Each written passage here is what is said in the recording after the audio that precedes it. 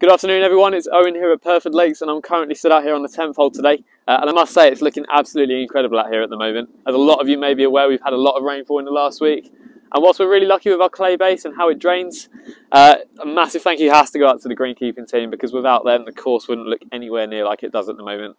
Um, and so a massive thank you to you guys.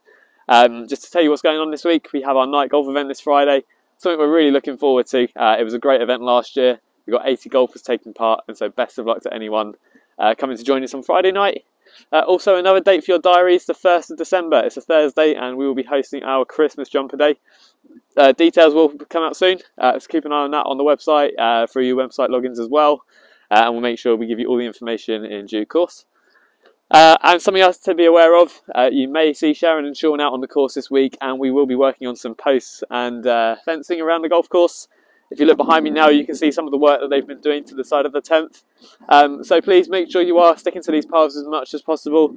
As we start to approach the winter and we see more rainfall, uh, the course will become a lot softer underfoot. And so by sticking to these, it just helps keep the course in the best condition we possibly can. Um, and I'll pass you on to Rich, who has a little bit more information about what we're working on at the moment. Okay, take care. Morning guys, um, just a couple of little videos from me this morning. Uh, we're back on the turf in the bunker edges uh, this week. Uh, we're here on the 17th green side um, this morning, which was worked on yesterday as well. Uh, just producing that lip around the back edge there with an extra layer of turf. Um, and working our way down towards the pond there, where over the summer um, it was a very scabby area, very bare area, um, got no water, which will change next year. Uh, we'll change the arcs and the sprinklers so that we can um, get water to these areas um, we are turfing this area. We've tried overseeding, top dressing, fertilising, but where the golfers are walking on from the path, it just never never stood a chance. So we're we're turfing this, keep them off it during the winter, um, which will produce a better better coverage of grass, um, better playing surface, playing area for for next spring and summer. Um, the water levels around the golf course are obviously pretty high at the minute. Um, with the heavy rain and the amount of rain we've had over the past 10 days or so. Uh, but we're managing them.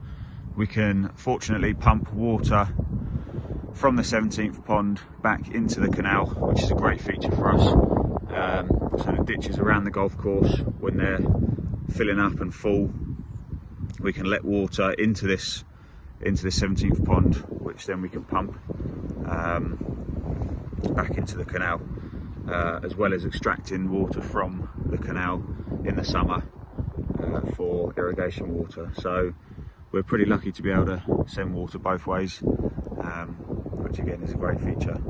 I will send a video out to you in a bit with the turfing we did on the eighth hole, uh, just so you guys can see what we're up to, and I'll keep you updated with works this week.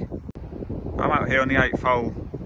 Uh, the minute, just going to show you the area that was turfed and completed yesterday. Um, as you all know, this was a very bare, sparse area last summer, just due to it being the, the sand splash area from the old bunker that we filled in uh, when the bunker renovations were taking place. Obviously, we moved it over to the left-hand side there. Um, this area will get incorporated as fairway and approach uh, next spring. It's going to look smart cut down uh, around this mounding, as I say, as fairway and approach. Um, the next area for turf will be in between uh, the two greenside bunkers over there. I want to encourage uh, good grass coverage as close to the greens as we can in that area. As you'll all know, again, struggled last year with GUR um, for a lot of it. Uh, the course is holding up really well after the amount of rain we've had. Uh, the course is very playable uh, at the minute. Golfers enjoying enjoying their golf. We don't want to get out here too early and force cuts on on fairways and tees and things like that. Um, yes, they're growing still um, with the temperatures that we've got uh, and obviously the rain, but we don't want to come out here and obviously make a mess and things like that.